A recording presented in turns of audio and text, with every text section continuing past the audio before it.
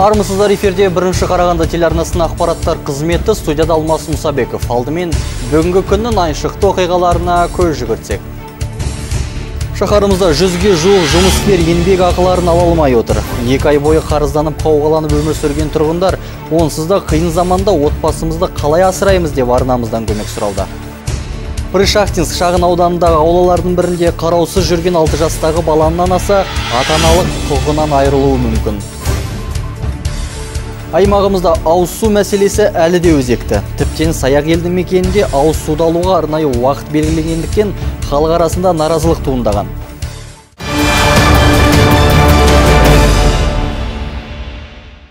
Шақарымызда жүзге жуық жұмыскер еңбек ақыларын ала алмай отыр. Екі ай бойы қарызданып, қауғаланып өмір сүрген тұрғындар. Онсыз да қиын заманда отбасымызды қалай асыраймыз деп арнамыздан көмек сұрауда. Ал жұмыс беруші болса, мәселе банктегі есеп шотын бұғаттап тасталғаннан туындап отыр деп түсіндіруде. Виктор Шевчук ағымдағы жылдың көктемінен бері Азия Транзит компаниясында жұмыс жасауда. Нәпақасын табу үшін азамат арнайы техниканы да несиеге алған көрінеді. Енді екі айлық жалақысын ала алмай отырған жұмысшы ай сайынғы төлемін қалай өтейтінін білмейді. Виктор бұрын соңды жалақымен қиындықтар болып көрмеген дейді. Нарық заманда қымбатшылық қалтана тескенде бұл мәселе шешімін тапса екен дейді ол данный момент получается дорожает все бүгінгі таңда бәрі қымбаттап жатыр. Азық түлік жанар жағармайдың бағасы қымбат. Ал біз тегін жұмыс істеп жүрміз. Өздеріңіз білетіндей қазіргі таңда табыс табу қиын. Ал тегін жұмыс істеу ойға сыймайды. Не істерімізді білмейміз. Бәріміздің отбасымыз бар балалар бар. Оларға қалай түсіндіретінімді де білмеймін. Жұмыс бар, бірақ ақша жоқ дейді компания қызметкерлері. Себебі мұнда Виктормен қатар жүзге жуық жұмысшы жалақысыз отыр. Жаңа жұмыс орнын іздеуге де қорқады жұрт. Себебі жұмыс іздесе кем дегенде алғашқы жалақыны екі ай күтуге тура келеді. Вот не платят, придется опять увольняться ақша төлемесе жұмыстан тағы да кетуге тура келеді. Ал жаңа жұмыс тапқанның өзінде онда кемінде екі ай уақыт кетеді. Ал мұнда жұмыс жетерлік бірақ ақша жоқ. Менің басымда несием бар? Осы күнге дейін несиемді уақытылы төлеп келгем. Ал бұл айда немен төлейтінімді білмеймін. Қарыз деген жетерлік басымда. Азия транзит компаниясы 2006 жылдан бері жұмыс жасап келеді. Мекеме басшысы бұл жағдайды банктегі есеп шотының бұғатталып отырғанымен түсіндірді. Себебі банк тарапы қылмыстық іске қатысты тексеріс жүргізіп есеп шотты жауып тастаған дейді алия құсайынова. 20 октября произошла блокировка интернет-банкинга. Қазан айының жиырмасы күні біздің компанияның есеп шотының интернет банкингі жабық болды. Артынша банкке келіп білдім. Маған коплайнс контроль деп түсіндірді. Өз кезегінде мен тексеріс жүргізу үшін қандай құжаттар қажет деп сұрадым. Бірақ ешкім ештеңе айтпайды.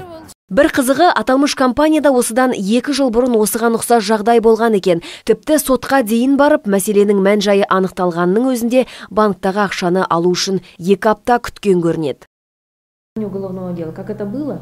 Альфа банктың алдында басқа банкпен жұмыс жасаған болатынбыз. Сонда тура осыған ұқсас жағдай орын алды. Банкке қомақты көлемде қаржы түсіп, оны күмәнді деп тауып, есеп шотымызды жауып тастады. Бірақ сотта біз жеңіп шықтық, себебі ешқандай дәлел болған жоқ ал компанияның есеп шотын бұғаттап отырған банк өкілдеріне хабарласқанымызда бұл мәселеге қатысты ешқандай да жауап бермейтіндіктерін айтып қысқа қайырды. Мұны банк жұмысының заңнамасына сәйкес құпия ақпаратты жария етпейтіндіктерімен түсіндірді. Ал қаржыға қатысты тексеріс қай уақытта аяқталатыны белгісіз. Сол себепті компания басшысы да зар елеген жұмыскерлерін қашан жалақы беріп қуантатынын дөп басып айта алмай отыр. Гүлнұр жакен аяжан ералықызы жасұлан мақұлбеков дастан шанин бірінші қарағанды телеарнасы Қаламызда ауа райы құбылмалы. Мәселен, кеше Қарағандының біраз жерінде жаңбыр жауса, бүгін шаһарымызда қалың тұман басты. Бірақ кешелі бері тұрғындардың ұялы телефондарына дауылды ескертпелерді таратып жүрген төтенше жағдайлар департаментінің өкілдері күн бұдан да суық болады деп отыр. Тіпті бір екі күнде өңірде қар, өңірде қар түсіп, екпіні қатты жел күтілуде қарағанды облысында оңтүстік батыстан соққан желдің күшеюі күтілуде. Желдің екпіні 25 метр секундына дейін жетеді. Көбінесе ол облыстың солтүстігі және солтүстік шығыс шығысында. Сонымен бірге бұрқасын көктайғақ және тұман күтілуде. Абырой болғанда күн райына байланысты ешқандай қайғылы оқиғалар тіркелмепті бұны ішкі істер департаментінің баспасөз қызметі де растайды дегенмен төтеншеліктер облыс тұрғындарына ауа райын бақылап отыруға және күн райы бұзылған кезде алыс жолға шықпауға кеңес береді Ал Пришахтин шағын ауданындағы аулалардың бірінде қараусыз жүретін 6 жастағы баланың анасы ата-аналық құқығынан айырылуы мүмкін. Киров ювеналды полиция бөлімінің қызметкерлері әлеуметтік желіде тараған бейне жазба бойынша тергеу жүргізді. Ребенок живет на крыше. Все бездействуют, целый час ждем полицейских. Әуесқой бейне жазбадағы 6 жасар баланың есімі Ваня бүлдіршін әкесінің қайтыс болғанын, ал анасының бас бостандығынан айырылып түрмеде отырғанын айтқан. Ал өзі шатырда тұрады сөзінше. Дегенмен бұл ақпарат шындыққа жанаспайтын болып шықты. Ювеналды полиция қызметкерлері бала толық емес, жағдайы төмен отбасыда тәрбие алып жатқандығын анықтаған. Оның 30 жастағы анасы 4 баласымен бірге жалдамалы пәтерде тұратынын айтқан. Баланың әкесі бөлек тұрады. Қазіргі таңда баланың анасын ата-аналық құқығынан айыру мәселесі көтеріліп отыр. ол кісіге екі рет ескерту жарияланған. Қазіргі уақытта баланың ата анасының бала тәрбиелеу құқығынан айыру туралы құжаттар жиналуда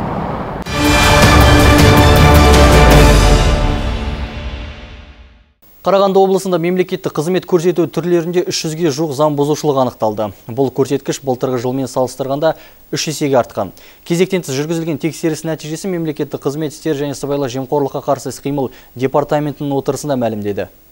Қарағанды облысына мемлекеттік қызмет түрлерінің сапасын анықтау мақсатында кезектен тыс тексеріс жүргізілген болатын. Нәтижесінде бірқатар заң бұзушылықтар анықталды. Тексеріс барысында Ақтоға мен Бұқар Жырау аудандары заң бұзушылықтан алдыңғы қатарда болып шықты. Бұқар Жырау ауданында жер қатынастарына қатысты былықтардың беті ашылды. Ал өз кезеңінде аталған фактілер бойынша жер қатынастары жетекшісінің салғырттығы себеп болған.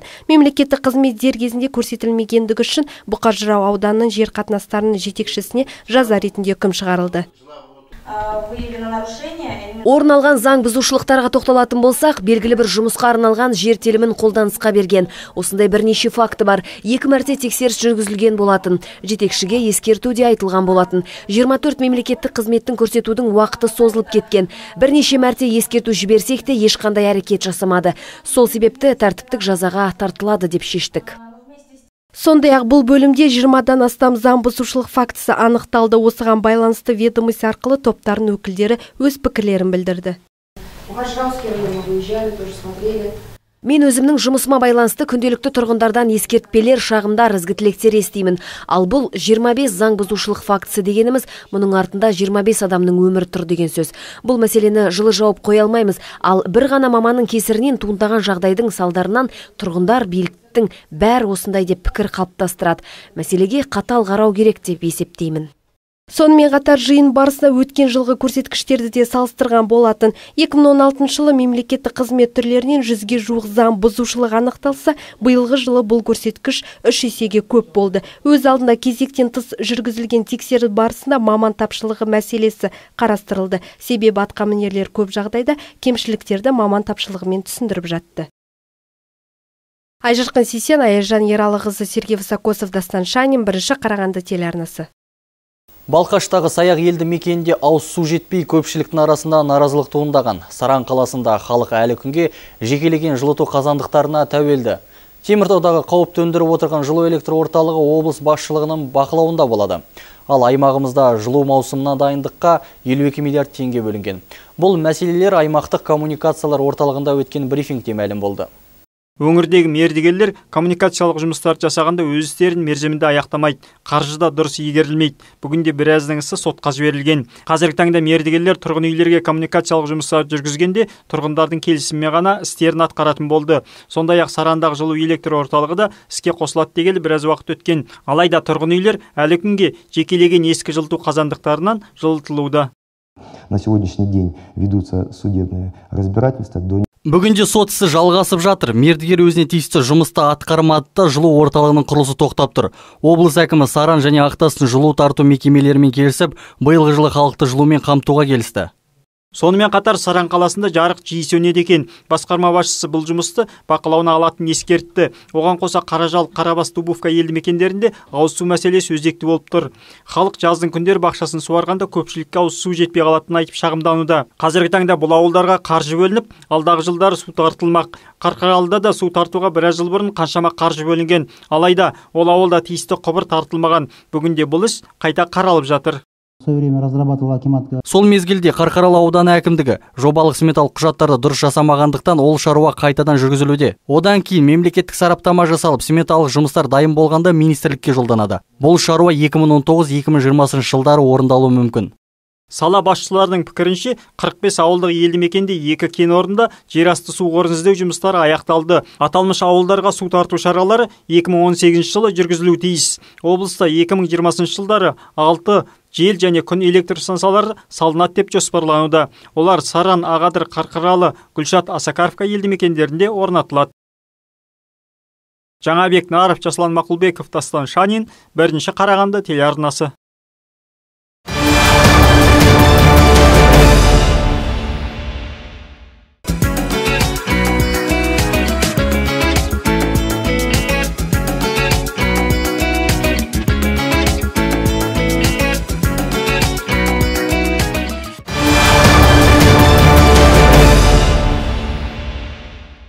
Охотзоопром инспекторлары мен табиғат қорғау полиция қызметкерлері бірлесе киік аулаған азаматты қолға түсірді. Аталмыш факты қылмыстық кодексінің заңсыз анаулау бабы бойынша тіркелді. 30 қазан күні Нұра ауданында өсімдік және жануарлар әлемінің қорғау мақсатында рейд жұмысы барысында Щербаковская ауылынан 60 шақырымда жерде далада заңсыз киік аулаған Атасу кентінің 52 жастағы тұрғыны қолға түсті. Браконьер мемлекеттік тіркеу нөмірі жоқ мотоциклмен жүрген. Тексеріс барысында қызметкерлер көліктен тұтас күйіндегі жабайы жануарды және пышақ тәркілеген. Азамат жазықта жаралы жатқан киікті тауып алғанын, сосын бауыздап үйіне апара жатқандығын мойындаған. Бүгінгі таңда аталған фактіге қатысты Қазақстан Республикасы қылмыстық кодексінің 337 бабы 4 тармағына сәйкес сотқа дейінгі тергеу жүргізілуде тиісті сараптамалар тағайындалды.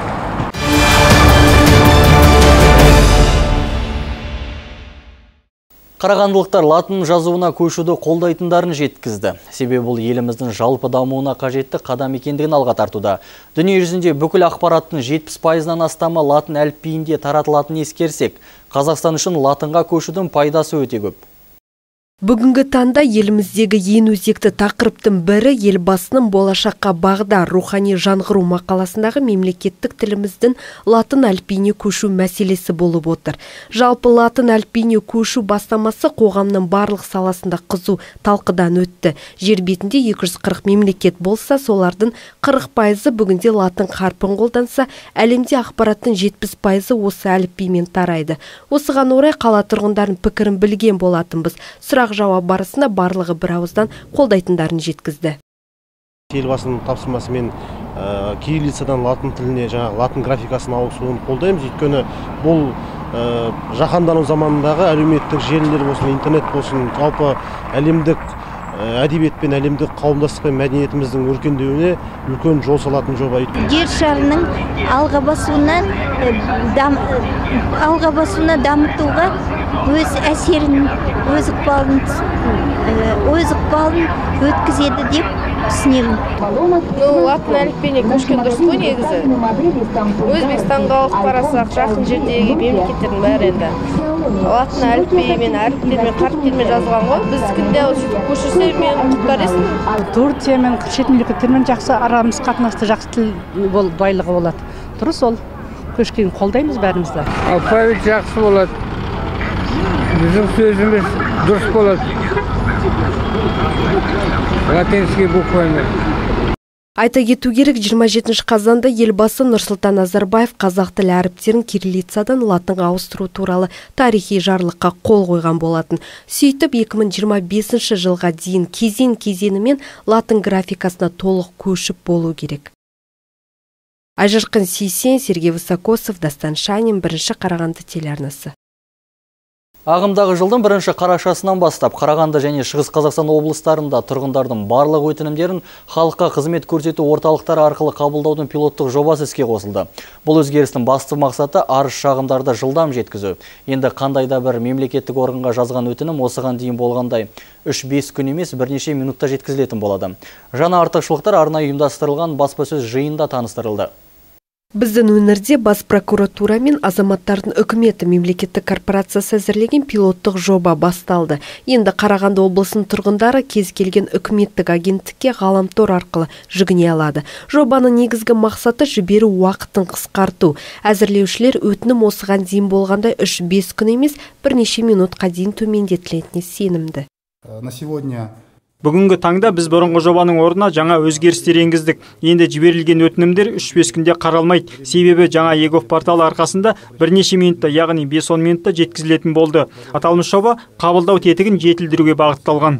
Бұл қызметтің басы ерекшеліктерінің бірі мемлекеттік қызметке өтінімді үйден шықпай ақ жіберуге болады. Сондай ғаламторға кіре алмайтын азаматтарға да жағдай жасалынған. Тек электронды цифрлы қолтаңба рұқсаты болу керек.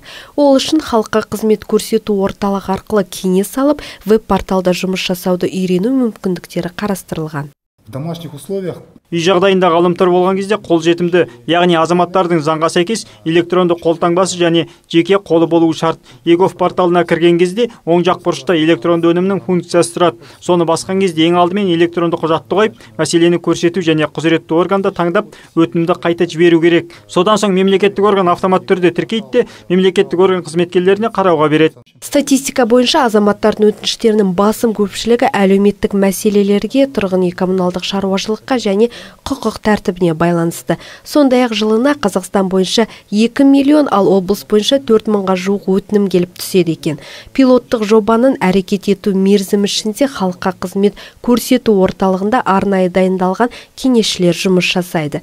Айта кету керек апелляциялардың жаңа жүйесін тестілеуге республиканың тек екі аймағы тартылған. Жаңа мүмкіндіктерді жоғарыда айтып өткенде қарағанды және шығыс қазақстан облыстарының тұрғындары пайдалана алады.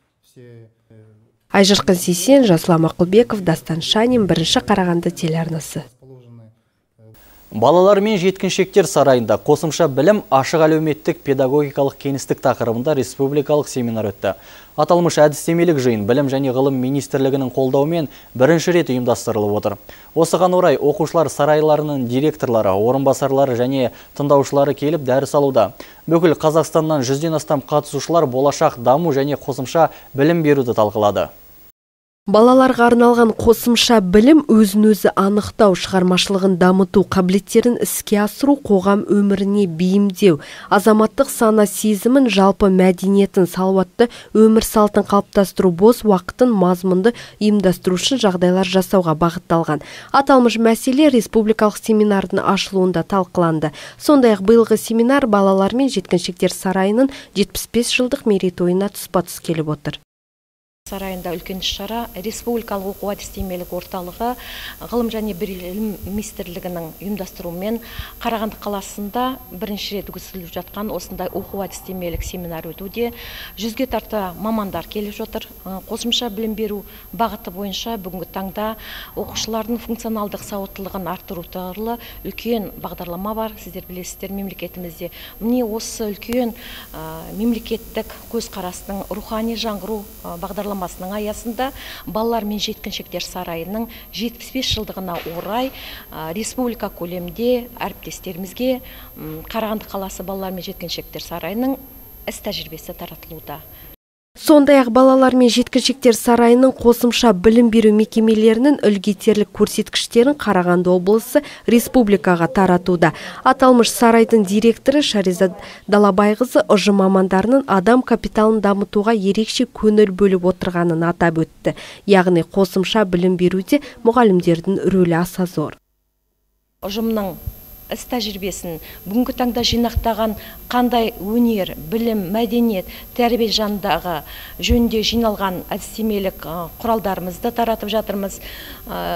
Педагогикалық ұжым өздерінің мастер класстарын көрсетеді тренингтерін көрсетеді. Нақты балалармен қосымша білім беру бағытында қандай жұмыстар жүргізіліп жатыр соны қонақтарымызға көрсетеміз. Бүгінгі таңда ойлаймын қызығушылық танып жатқан әріптестеріміз өте көп. Осыны бөлісуге біз дайынбыз. Республикалық семинарға бүкіл қазақстан бойынша жүзден астам қосымша білім беру мекемелерінің басшылары қатысты. Сондай ақ мастер класс барысында өздерінің тәжірибелерімен толық бөлісті. Басты міндет балалар мен жеткіншектерді перспективалық болашаққа тарту екенін атап өтті.